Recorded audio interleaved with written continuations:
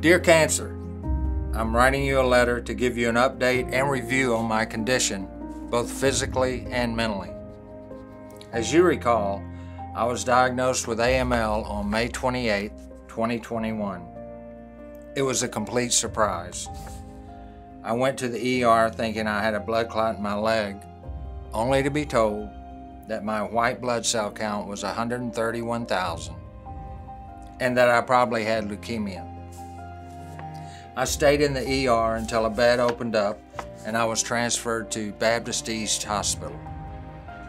The fifth floor East Oncology Wing became my home. I was in a state of shock. Nothing like this had ever happened to me before. After suffering a small stroke in 2019 and now diagnosed with leukemia, I thought maybe my body was trying to tell me something. Little did I know I was going into a life-changing experience. The next morning, a PICC line was with four injection points was inserted into my right arm. I was administered chemo that looked like egg yolks the first day, and then clear chemo for the next seven days. I didn't feel bad while taking the chemo, but the next week I felt really bad and actually don't remember much of that week at all. It didn't take me long to realize that my soul was going to have to furnish strength and peace to my being through prayer. My wife stayed with me every day, and my family called and FaceTimed with me as well. All said they were praying for, the, for me, and that's what I needed to hear. I wanted so badly to go home, but there was no way I was ready. Right after my chemo treatments, I was confronted with a couple of obstacles. The first was tremendous pressure on my chest and shortness of breath with just standing. It was diagnosed as AFib or cardiac fibrillation. That was resolved with medication prescribed by my cardiologist. The next obstacle was liver failure. I turned jaundice, and the doctors felt like the AML had metastasized to my liver. Needless to say, they went over my liver with scopes, probes, and x rays, but they couldn't find cancer. The liver failure wound up being attributed to the chemotherapy. Fortunately, a liver specialist was able to give me a drug to jumpstart my liver. And my liver values began to improve after three or four days. I realized that medical expertise, my body's reaction to the various treatments, in concert with my family and faith, were going to bring me through my cancer.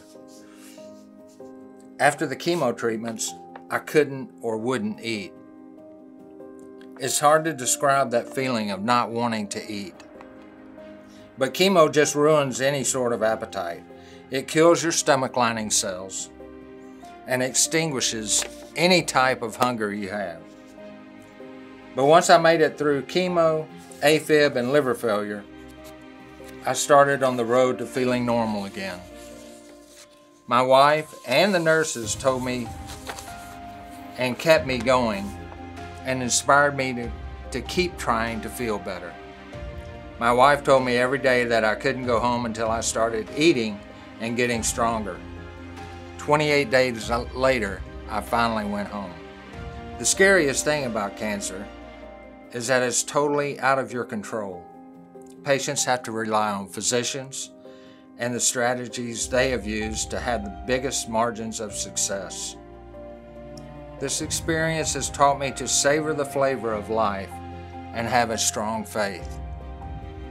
It really helps to imagine Jesus standing next to you and to love the Lord first and remember always to treat people the way you want to be treated.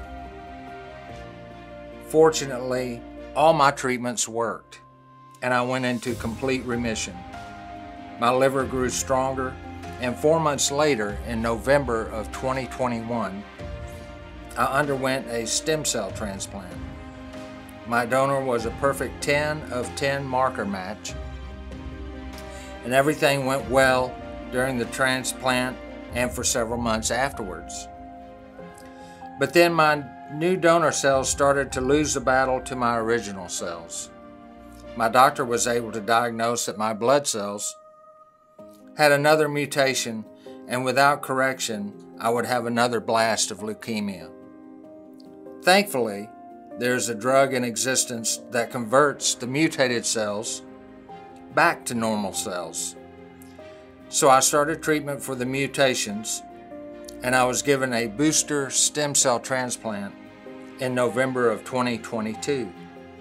The same donor stepped up and donated again, and in my book, he is a true hero. So here I am, over two years later, cancer free, and thankful every day that you did not win. And to quote an old movie line, love actually is all around. Sincerely, Prentiss Turman.